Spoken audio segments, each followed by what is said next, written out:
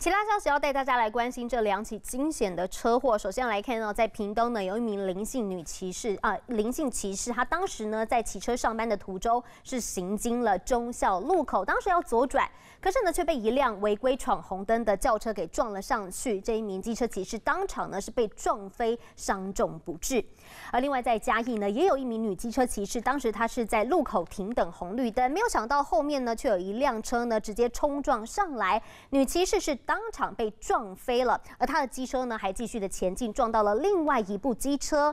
这名女骑士之后被送往医院，现在还在治疗。女骑士到路口停等红灯，没想到后方一辆轿车突然直接冲撞。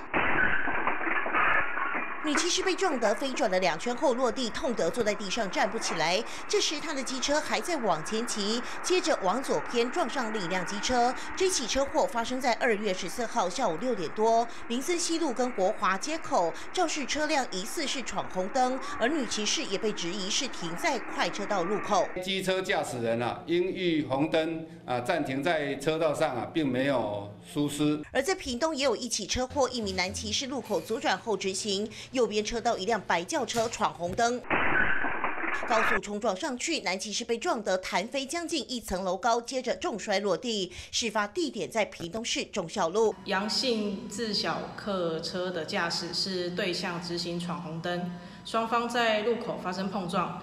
造成林姓男子送医不治。两起车祸都是轿车闯红灯，屏东的林姓骑士还被撞死。警方呼吁驾驶人不管骑车还是开车，千万别为了抢快违规，否则发生遗憾意外，后悔都来不及了。记者综合报道。